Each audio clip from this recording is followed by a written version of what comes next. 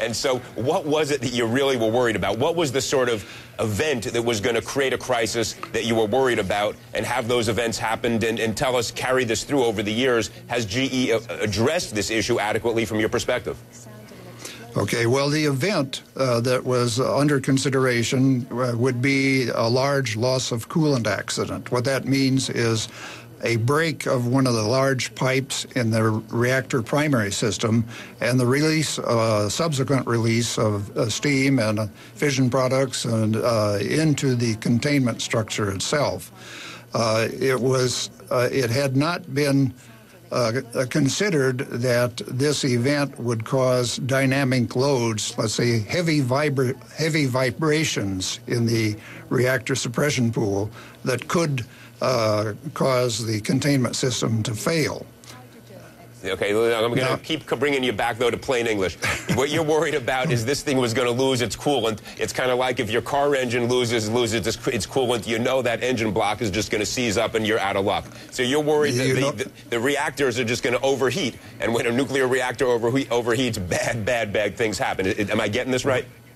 You, are absolutely right. Now, it was perhaps even worse than that. The uh, steam that would be released from a large break was supposed to be uh, condensed and uh, by the water in the suppression pool in the uh, in the large torus structure, and uh, the concern was that if the structure failed as a result of these unconsidered loads, you would lose containment uh, which they may have done at uh, one of the Fukushima plants now.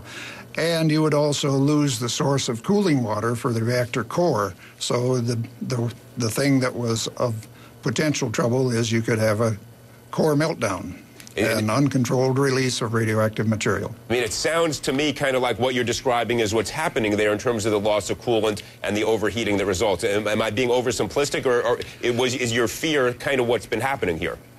Well, it's kind of what's been happening, but the the cause of the overheating uh, is different at Fukushima than the one that we were considering at GE.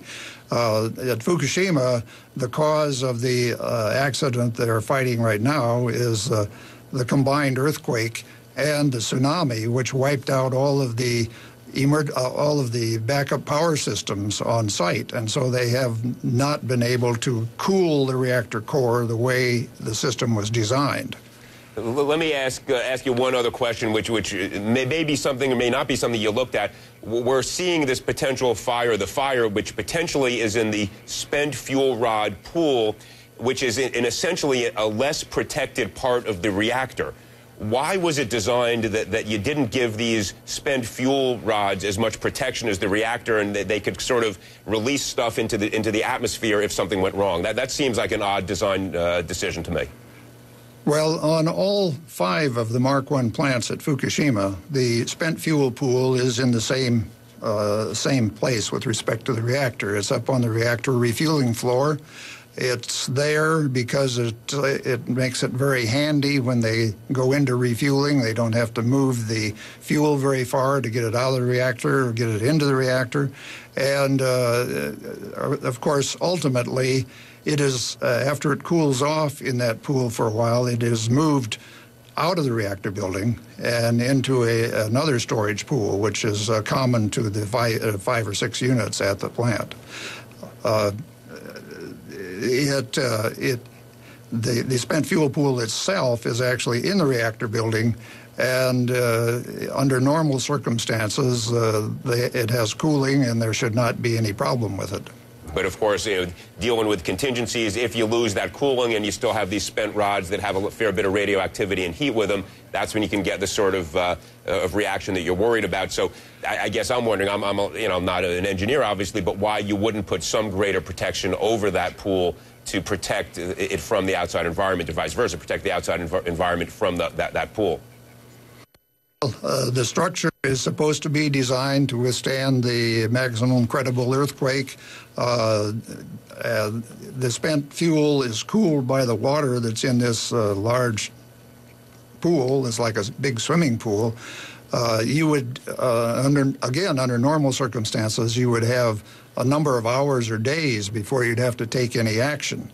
It's not clear to me why this fire has occurred on unit number four.